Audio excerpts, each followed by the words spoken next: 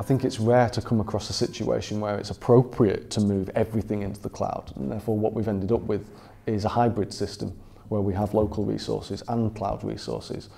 Being able to integrate them together is massively important in making a success of that.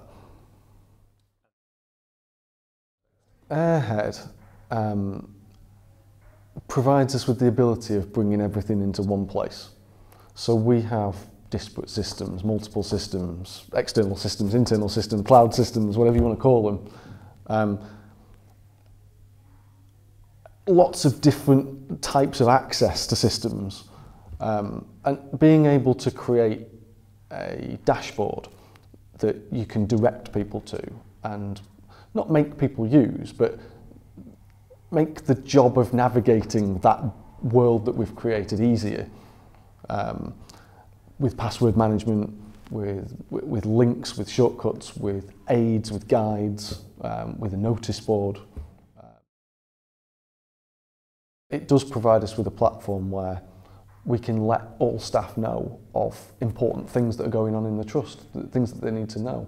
Um, because of the way it's put together, you can let people know about important notices in the school as well. So it can be a one-stop shop for trust-wide things and school-wide things. Well, really, it, it's, it's generally, I've really enjoyed working with, with you, um, with the Airhead team. Um, knowing where you're going, um, the openness, the, um, the reinvention of direction, instead of traditional thinking, you've thrown that out and you, you're going with um, a, a plan that I personally think is correct.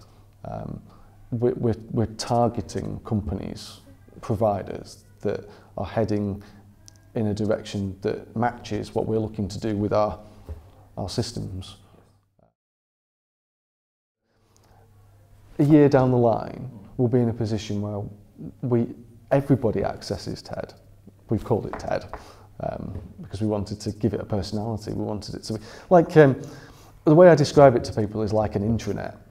So it's where to go to get the information that you're looking for.